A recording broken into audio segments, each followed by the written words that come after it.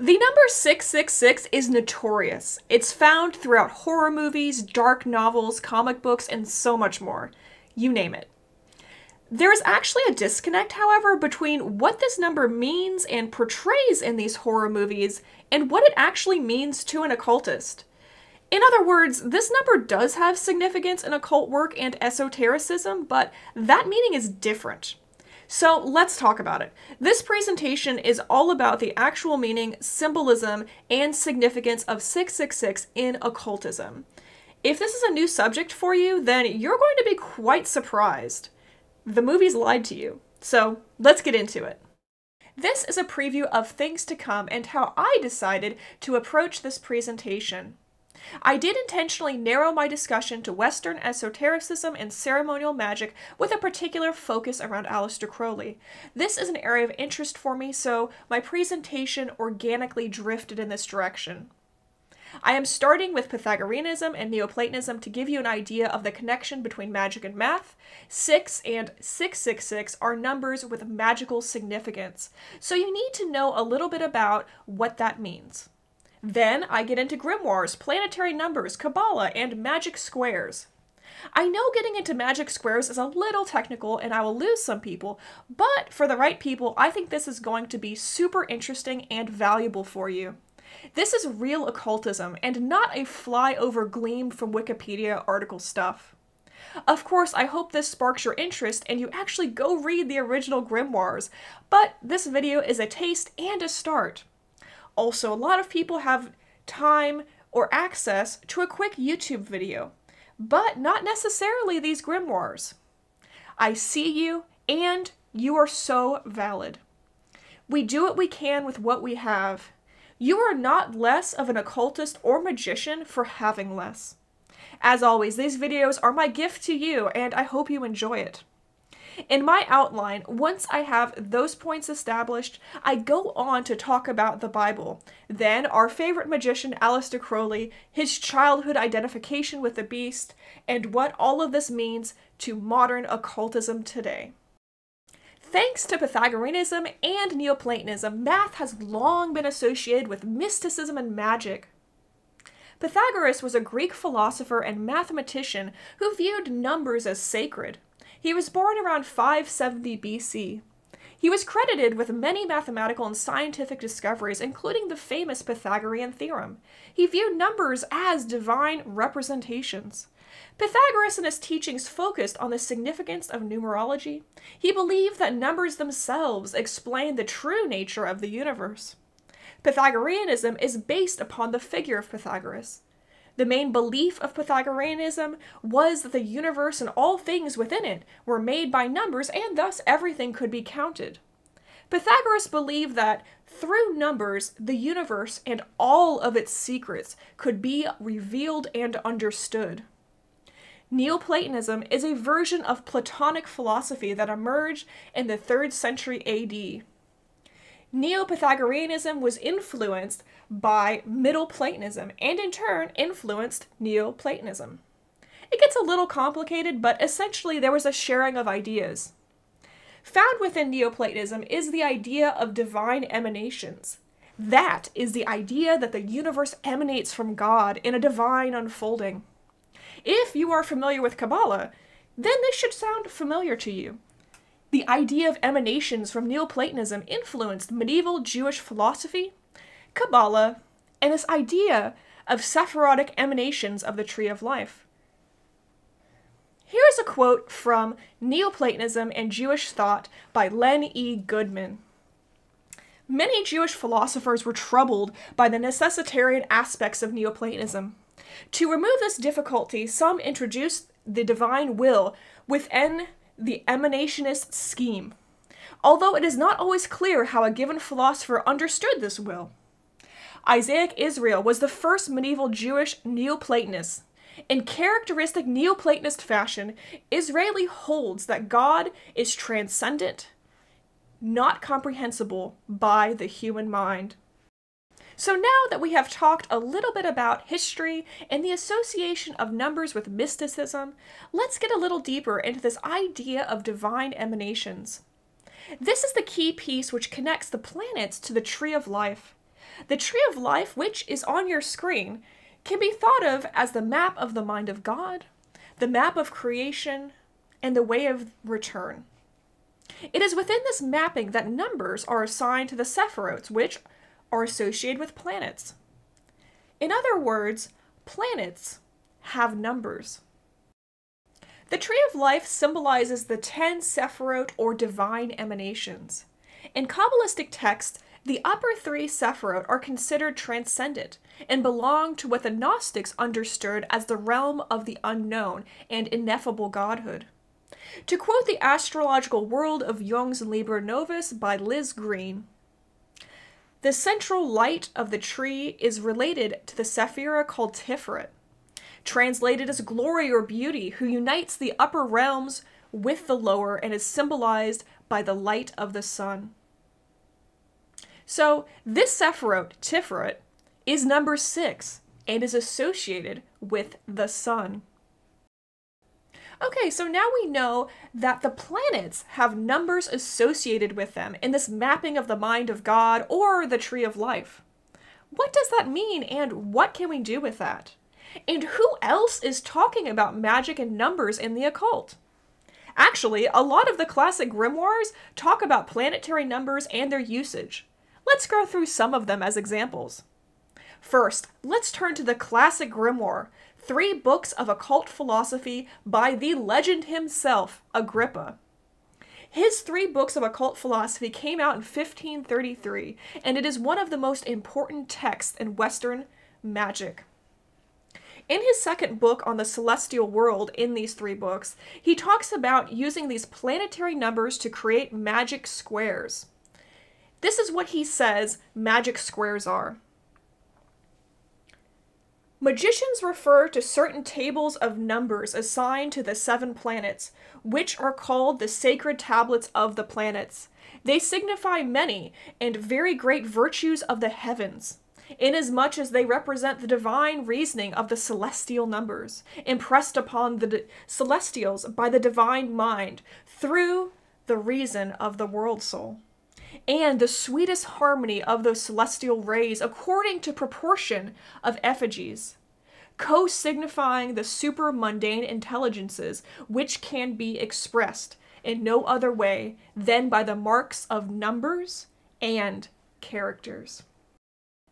Here are some pages right out of the book showing you these magic squares. A magician could use these magic squares for a lot of purposes. Just as an example, perhaps if you wanted more success or prosperity in your life, or you have a special project you're working on, you might make a Jupiter talisman to attract those planetary virtues.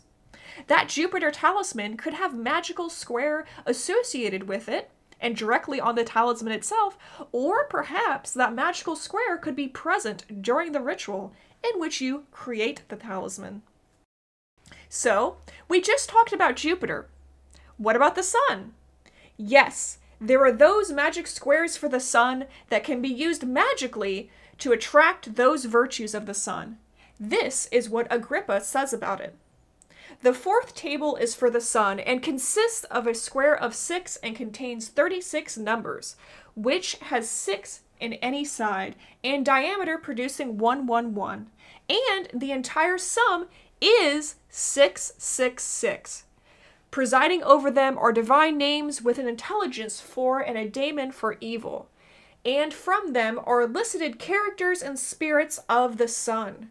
When the sun is fortunate, if carved in gold plate, it makes the wearer famous, amiable, pleasing, powerful in all works, makes men equal with kings and princes, elevates them to the highest peaks of fortune, and makes one acquire whatever they desire.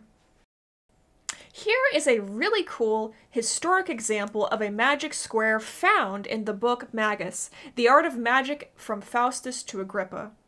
It has to do with this magic square depicted in this art titled Melancholia 1 by Albrecht Dürer.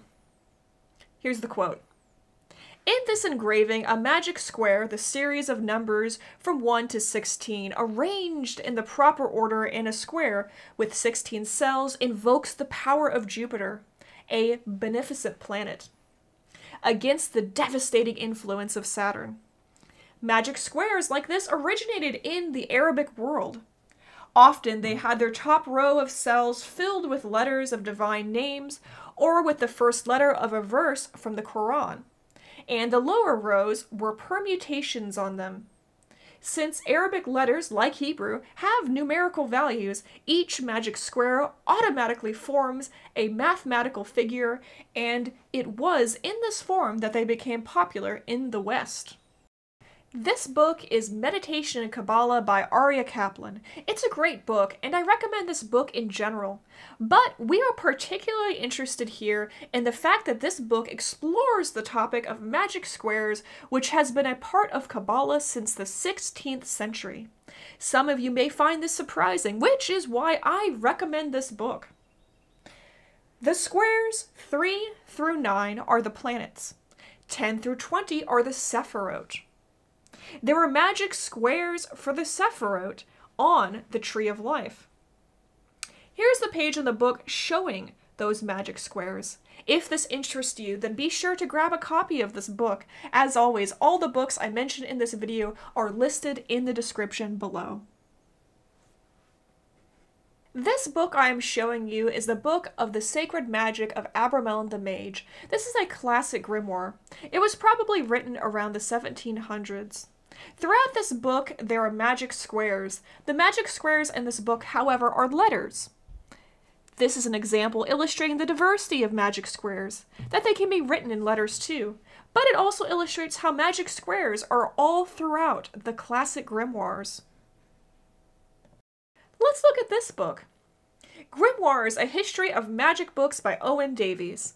It came out in 2010 and is a nice overview and history of some of these grimoires. Here's a quote from the book that makes the connection between ancient history and all of those medieval grimoires. Magic squares consisting of a grid of numbers of astrological, metaphysical, or mystical significance are thought to have spread westwards from China in the late first millennium thanks to Persian and Arab traders. The magic squares also became an integral element in Indian magic, perhaps around the same time as papermaking was introduced there from China in the 8th century. Here is an example from a 12th century Arabic grimoire. This lovely page is found in Art of the Grimoire, an illustrated history of magic books and spells by Owen Davies. You're looking at a grimoire called The Sun of Knowledge, and it is written by Ahmed bin Albuni. As you can see, here is another example of magic squares. Magic squares are woven all throughout different cultures and traditions over time. So let's back up. What have I been sharing with you so far? Well, quite simply, across a bunch of different cultures throughout history, numbers have magical properties, and with that knowledge, you can make these things called magic squares. The specific details of what that means or how to make a magic square depends on the culture, religion, and tradition. I threw out a bunch of different examples and sources, but narrowing it down to 666, we learn in the occult context that 6 is a solar number, and 666 comes from a magic square for the sun. The sun's properties, according to Agrippa, are being famous, amiable, pleasing, and powerful. So if you want to attract those positive occult virtues of the sun, 666 would be your number. So let's keep going. We have a few more things to cover. Before we talk about Aleister Crowley and his deal with 666, let's talk about the Bible and what is going on there. This book gives us Revelation 13:18 where the number of the beast is given as 666. Not only does it give us the number 666, but we see that Greek letters also have numerical values, which opens up the interpretations via isopsephy. Isopsephy is the practice of adding up the number values of the letters in a word to form a single number. The total number is then used as a metaphorical bridge to other words evaluating the equal number. Isopsephy is related to gematria. Gematria is the same practice using the Hebrew alphabet. This book is Sword of Song by Aleister Crowley. This collection of poetry and essays was not only Aleister Crowley's first talismanic book, but also he identifies himself with the beast 666. As you can see on the cover, there is a magical square of sixes. The book is subtitled The Book of the Beast. The back of the book has Aleister E. Crowley written in Hebrew, which adds up to 666 using that method of gematria we just talked about. Let's take a peek into Sword of Song. I want to show you a part of the poem Ascension Day where Crowley talks about 666 and the cover of the book. It's a really cute poem. I won't read the whole thing to you, just this one part. It's definitely worth it. Yet by and by I hope to weave a song of anti Christmas Eve. And first and second Beaster Day, there's one who loves me dearly, Veray, who yet believes me sprung from Tophet, either the beast or the false prophet, and by all sorts of monkey tricks adds up my name to 666. Retire, a good Gallop, in such strife her Superior skills makes you a cipher. Ho! I adopt the number. Look at the quaint wrapper of this book. I will deserve it if I can. It is the number of a man. As he says in Sword of Song, Crowley identifies with the beast 666. Where does that come from for him, and what does that mean to him? This label of the Beast 666 comes right out of his childhood. His parents were fundamentalist Christian Plymouth Brethren. His mother, undoubtedly inspired by the Bible revelation, called Crowley the Beast 666. Of course, Crowley rejected his fundamentalist Christian upbringing, but embraced the nickname. For him, the Beast 666 has a solar meaning. Given Crowley's background in the magical order, the Hermetic Order of the Golden Dawn, it makes sense that he viewed it this way. The Golden Dawn, drawing from many of these old grimoires, also ascribes six to Tiferet on the Tree of Life, which is associated with the sun. Here are two news articles covering a rather famous trial Crowley was involved in. The one on the left is an article from the Yorkshire Post, April 11th, 1934. This article talks about how Crowley views himself as Little Sunshine. In the Daily Telegraph on the right, Crowley was quoted saying, The beast 666 only means sunlight. You can call me Little Sunshine.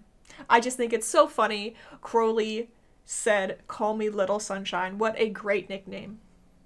This is another example of Crowley connecting the beast 666 with a solar number, which is what that meant to him.